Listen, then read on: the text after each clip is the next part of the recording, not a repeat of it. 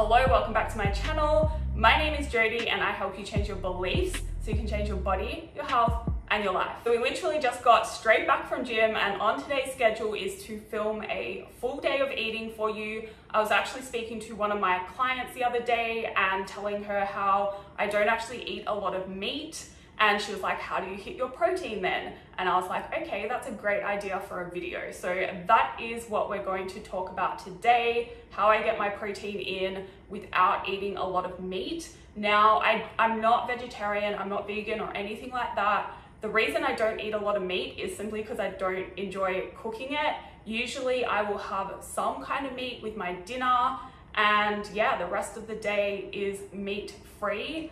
Obviously that changes if I go away or if I want to go out for lunch or something like that. If I feel like a chicken salad, which is actually one of my favorite foods, um, but it has to be a good one, then yeah, I will have that. Like I'm not strictly no meat. I am not strictly only this portion of meat a day. Like it's just what kind of works out. And yeah, so I haven't decided yet whether I am going to make it a typical day where I add a bit of meat in my dinner or whether I am going to make it completely meat free and just show you how I hit my protein target anyway and show you that it is possible. But we will see what I feel like doing later. Anyway, to start with, I'm gonna show you my first meal of the day, which is always the same. When I wake up, I am a let's get things done person. And so I pretty much jump out of bed, head to a cafe, have a black coffee, have some sparkling water, and then if it's a workout day, I will head straight to gym and get my workout done because I find I work out better on an empty stomach. Now that is totally fine to do that, but it is really important then to come home and get some food into you to help with that muscle recovery. And the best food to eat after a workout is something with protein and something with carbs. That's why I literally have the same thing every morning. I love it. I look forward to it. I never get sick of it. It's a great source of protein, great source of carbs, and it fills me up as well. All right, so if you've watched my other videos, you would know my first meal of the day is always oats, protein powder, and Greek yogurt. If you mix it all together, it tastes really good. At the moment, I'm using this VPA Australia Rich Mocha flavor protein, which is delicious. And that's how I kind of make it different is I just changed the flavor protein powder that I'm using. I also really like strawberry and I add this Greek yogurt by Chobani because it's like so high in protein, so low in calories. And yeah, it just adds extra protein, extra creaminess and makes it taste good. My protein target at the moment is set to 130 grams and my calories are on 1900. I am reverse dieting after my deficit as I explained in my previous video and so that is what we are going to be aiming to hit today. All right, so that is what it looks like. I mix it all up. So I used 100 grams of the Greek yogurt, 20 grams of protein, and 40 grams of oats, and it's a decent source of protein to start the day. All right, so we are back. It is about 12.30 now and it is time for coffee number two. So when I moved here, I got myself a coffee machine. I am obsessed with it. I still like to go out for my coffee in the morning just to get out and change my environment. And then before lunch, I like to have my second coffee of the day. And this one, I do use milk. So that is why I'm filming it because it has calories I use lactose-free milk and full cream milk because even though my calories aren't that high at the moment compared to what I'm used to, I like full cream milk because I actually have trouble hitting my fat intake. You'll see like I didn't add anything like peanut butter and stuff to my oats. Sometimes I do if I have extra calories to play with, but I really like having full cream milk. It tastes better and lactose free because also it tastes better.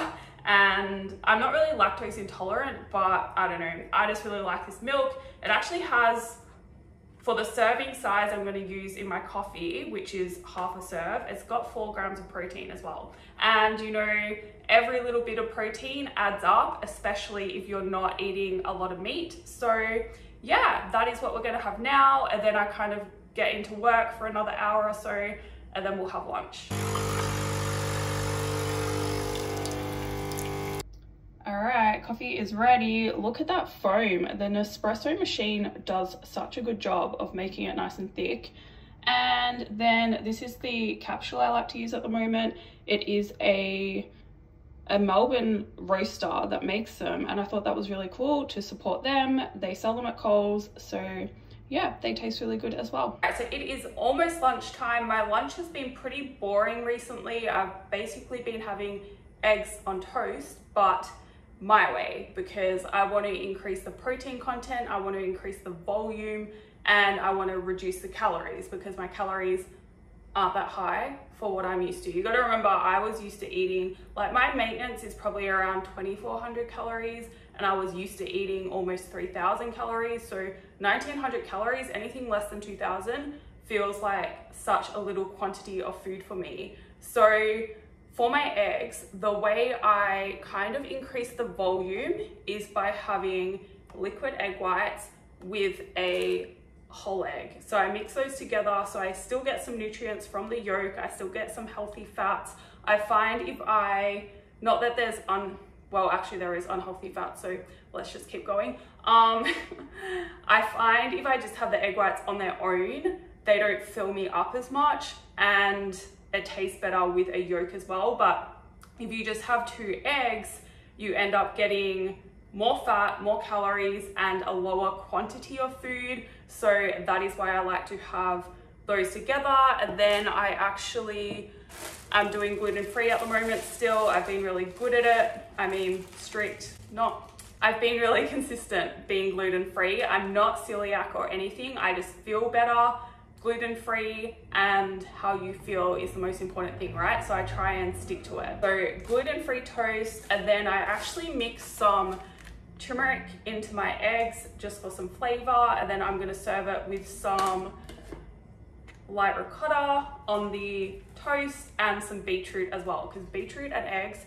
go really well together. I said before, I actually have trouble hitting my fat target and this is kind of why, because when I go lower calories, the first thing I take out is added fats because that just takes up so many calories for so little volume and I love eating big meals. Now this isn't necessarily the best thing for me though because fat is essential for your health. So you do wanna make sure you are hitting a minimum target and that is why I went back to having things like full cream milk to help me hit that. And as my calories get higher, I will go back to having two eggs instead of the egg whites on the days I want eggs on toast. I don't know if I'm gonna change that. If I get sick of it, I will. But yeah, so for now, that is what I do. And the egg whites have a bit extra protein as well. And as I said before, every little bit of extra protein you can get in really helps, especially if you are not getting it from meat. All right, so this is what it ends up looking like. We have the ricotta, the beetroot, and then the turmeric eggs. I also added some parsley and some salt. All right, so we are back in the kitchen. It is almost 6 p.m. I'm about to start getting dinner ready. The sun is going down, so if the lighting changes, that is why. Now I have decided to make today a meat-free day just for interest sake really to show you that it is possible to hit my protein target or at least get close to it which is 130 grams, that's my protein target, uh, without meat.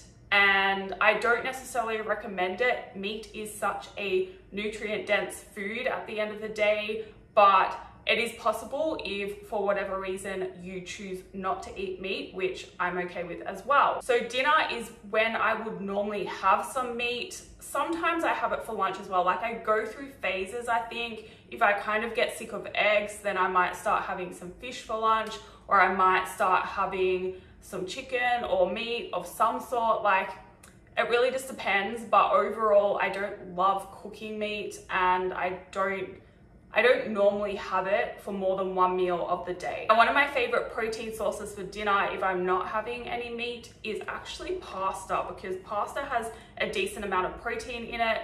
I know you can buy the high protein pastas, but you have to look at the ingredients on those. And what they normally do is they add gluten, which is a protein, to the wheat to make it higher protein.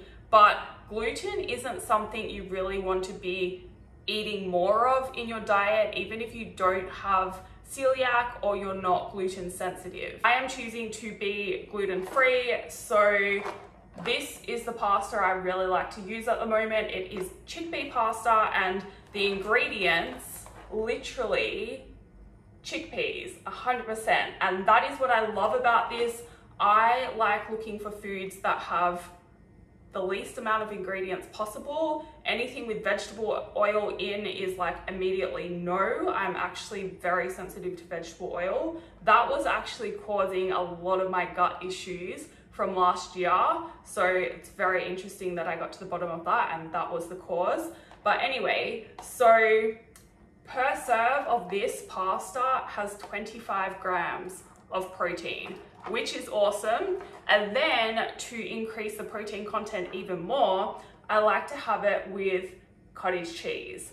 Now, I know a lot of you don't like the cottage cheese texture, but when you add it into the pasta, you don't notice it as much. And it's kind of like adding cheese to pasta, right? Like it tastes good. So this per serve, which I'm gonna have a serve of 100 grams, that's 12 grams of protein. So 12 plus 25, that's over 30 grams of protein plus the veggies I'm gonna add to it.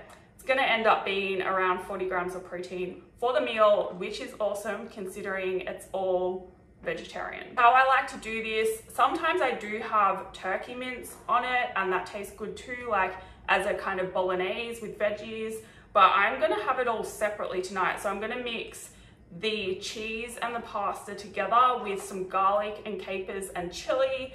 That's delicious. And then I'm gonna have my veggies on the side.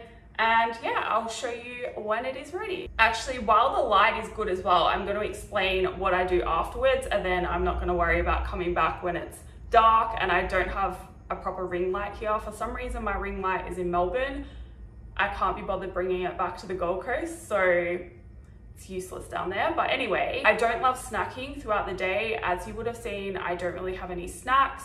I just have a lot of water if I do get hungry between meals, but my meals are big and that's why I like to make them big because they do tend to fill me up and I don't need to snack. If you are someone that is always snacking, consider trying not to or at least reducing one of your snacks because it's really good to go at least four hours between meals to give your digestive system a chance to clean itself out. Our nighttime is when I do like to snack a lot more, like I am non-stop at night. So I'll pretty much have my dinner and then whatever is left with my calories is what I get to eat for my dessert and pre-bed meal. So if you've seen my full day of eatings before, I usually have XO Crunch. At the moment, I have been having a mini sachet of oats, vanilla flavor, and then I add more protein powder to that and more yogurt. So it's pretty much my breakfast again, but a sweeter version because the oats are vanilla flavor. And yeah, that is how I like to go to bed. And I have M&Ms before that most nights or some kind of chocolate because I have my sweet cravings too. I just know how to control them. And I think because I know at the end of every single day, I have that to look forward to. I don't really care about eating sweets during the day. I think the most important thing to realize is I have pasta and I have oats and I have chocolate all after 6 p.m., probably after 7 p.m., and I'm not fat. You don't get fat from eating carbs after 6 p.m. or after dark or whatever the rule is or the myth is. As long as it fits into your calorie requirements, you can continue losing fat, you can continue building muscle, you can transform your body. So I'm gonna show you my dinner. Once it is ready, I'll also put up my macro totals as well and how close I got to my target. Just remember with that, you don't need to be perfect. Being close is good enough. And yeah, that's pretty much gonna be all for this video. So thank you for watching. Please like it if you like it. If you wanna see more, subscribe, and I will see you in the next video. All right, so there we have it. That is how it turned out.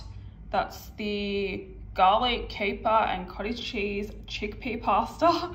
I put fresh parsley and chili on top. I don't know why tonight I felt like having everything separated. So that is what we have done. We have got some tomato and then the cottage cheese to dip the greens in. And then we've got roast pumpkin. And yeah, so that is my dinner. And then I will be enjoying my dessert. And then we're gonna go to bed.